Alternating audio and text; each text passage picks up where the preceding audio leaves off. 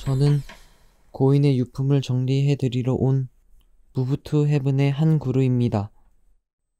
이제부터 마지막 기사를 시작하겠습니다. 예, 저는 사실 이 작품 제안 받기 딱 받을 적에, 그러니까 제안을 할 적에 처음에 이 책을 먼저 받았어요. 그래서 그때 처음 책을 보면서 아, 유품 정리사라는 거를 처음 알게 됐어요. 뭐 일단 저는 몰랐어요. 네, 저는 몰랐고. 저도 저도 처음에, 그렇게 그죠? 몰랐습니다. 그러니까 일단 고독사하신 분들, 그야말로 연고가 없는 사람들, 이런 사람들의 어떤 자리를 정리하는 것들이 단순히 어떤 청소라던가 어떤 그런 개념이 아니라 우리 시대에 혹은 지금 살고 있는 사람들에 대한 얘기를 충분히 할 수 있겠다는 좀 들어서 사실 좀 놀랍기도 하고 약간 반성도 되기도 하고 몰랐다는 거에 대해서 그리고 뭔가 조금 다르게 바라보는 관점도 좀 생겼던 것 같아요. 사실은 제가 그런 부분을 어, 매스컴을 통해서 많은 사람들에게 말씀을 드리고는 있거든요. 그런데 아직도 사실은 관심들이 없으세요. 그냥 무작정 아 우리 집에 누가 죽었어? 사람이 죽었어? 사람이 죽으면 어떻게 되지? 냄새가 난다는데? 썩는다는데?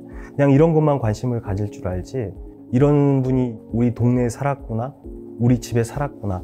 이런 부분을 너무 모르고 사시는 것 같아요. 옆에서 진짜 누가 죽었는데 모르고 지나친다면은 그것만큼 진짜 잔인함은 없다라는 생각이 들게 됐던 것 같아요. 이번 작품을 보면서 특히나.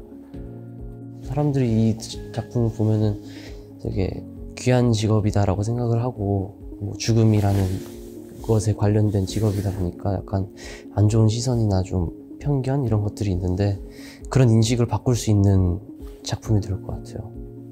생명이 태어날 때 많은 사람들이 또 축복을 하고 귀하게 여기는데 이 삶을 마감을 하고 정리를 할 때 어떤 기분이 들까? 과연 나의 이 마지막 죽음을 누군가 바라봐 줄까? 유품 정리사라는 고귀한 직업을 통해서 누군가가 떠난 자리를 잘 정리해 줄 수 있다면 떠나보낸 사람에 대한 어떤 존중과 축복이지 않나라는 또 생각이 들었던 것 같아요.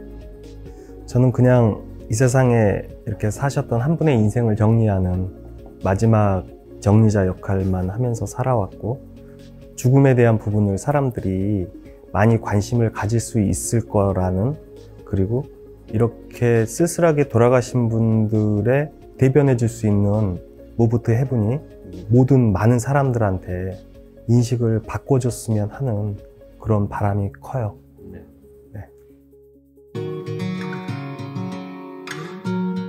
무브테븐이라는 작품을 읽으면서 내가 분명히 경험한 것들이 아님에도 불구하고 너무나 공감이 가면서 눈시울이 뜨거워지고 흐를 수밖에 없는 그게 참 놀라웠었던 순간이었던 것 같아요.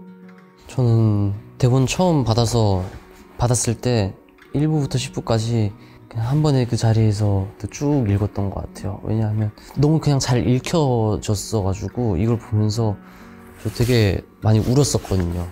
이 마음을 제가 표현을 해서 전달을 해드리고 싶은 그런 마음이 있었어가지고 작품을 보고 너무 좋았어요. 쓰셨던 글 중에 가족 사진에 대한 얘기가 있어요. 던진 가족 사진에서 나왔던 실제로 일어났던 일들을 봤을 적에는 정말 되게 영화적이라고 생각이 들긴 했었거든요. 드라마로 표현하기 되게 힘든 것 같아요. 그러니까 어쨌든 이게 또 만들어지는 과정이 있기 때문에 그래서 한번 도전해 볼 만하다. 이런 것들을 사람들한테 얘기할 수 있고 어쩌면 아무도 모르고 그냥 넘어갈 수 있는 어떤 이야기들을 조금씩 풀어낼 수 있는 방법들을 좀 끄집어낼 수 있으면 되게 좋은 이야기가 되지 않을까 이제 그런 생각을 좀 했던 것 같아요. 좋은 얘기고 하고 싶은 얘기가 있고 사연을 담는 것도 좀 중요하긴 하지만 그 캐릭터에 조금 더 아까 호감이 가고 관심 있게 볼 수 있는 그런 캐릭터는 좋겠다는 부분에서 사실 시작했던 부분이 있고 아스퍼거 증후군이라는 거가 그루한테 되게 중요한 요소이기도 한 건데 좋아하거나 슬퍼하거나 괴로워하는 것들을 잘 못하는 어떤 그런 캐릭터인 거예요.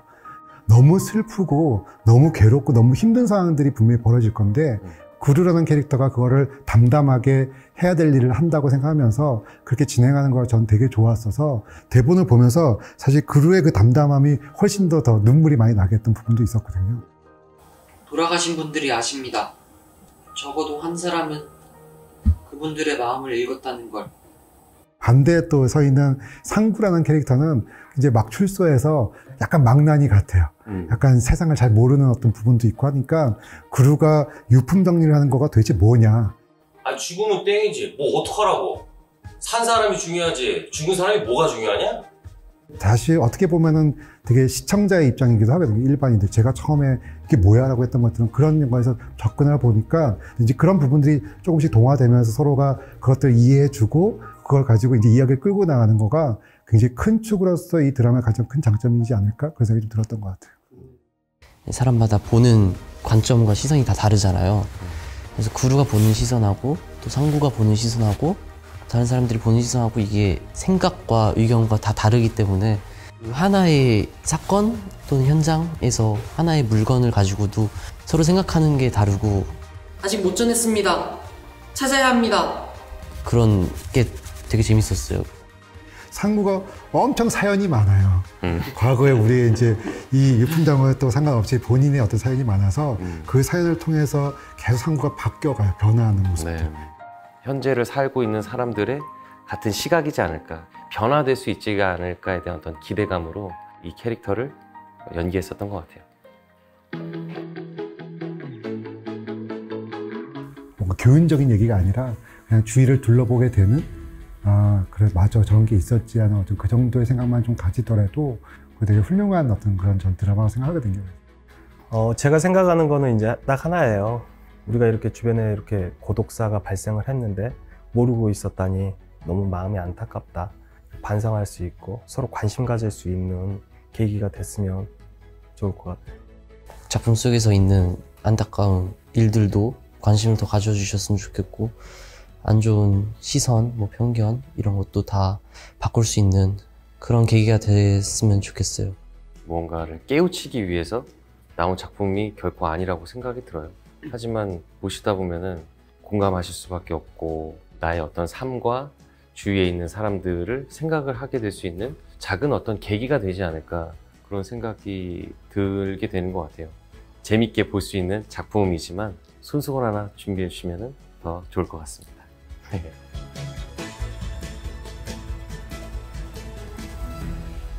우리는 무브투 해븐입니다.